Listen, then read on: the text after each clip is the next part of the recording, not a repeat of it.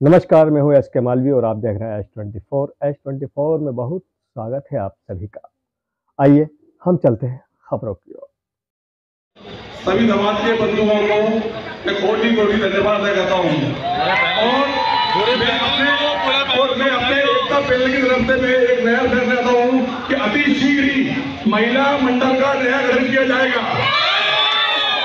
सारी महिलाओं को एक अलग तरह का रूप दिया जाएगा।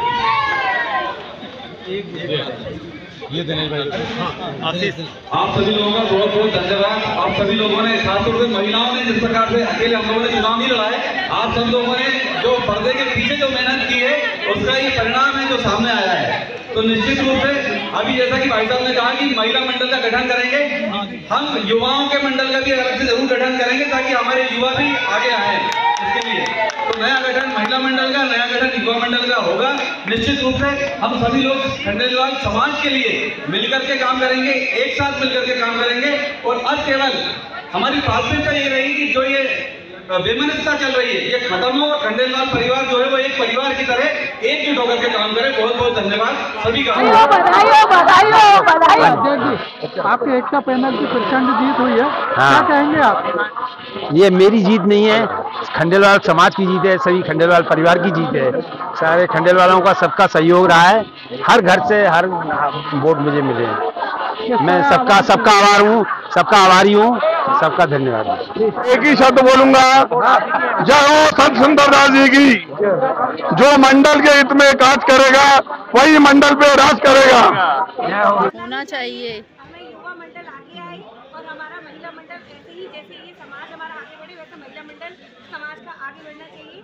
ये बहुत ज़रूरी है हमारे मैडम आप महिलाएँ हैं महिला ज़िम्मेदारी ज़्यादा होती है। हाँ। परिवार प्रदेश देश समाज। अब कैसा लगेगा आप बाहर निकल के काम करना है आपको? बहुत अच्छा लगेगा। हमारी प्रोग्रेस देख के हमें बहुत अच्छा लगेगा। हमारा ग्राफ ऊपर जाना चाहिए। बाकी आपको क्या लगता है कि खंडेलवाल समाज अपने आप में एक व्यावसायिक जगत में बहुत ज़्यादा अग्रणीय है? मगर आपको क्या लगता है कि जो जीत करके आए खंडेलवाल समाज?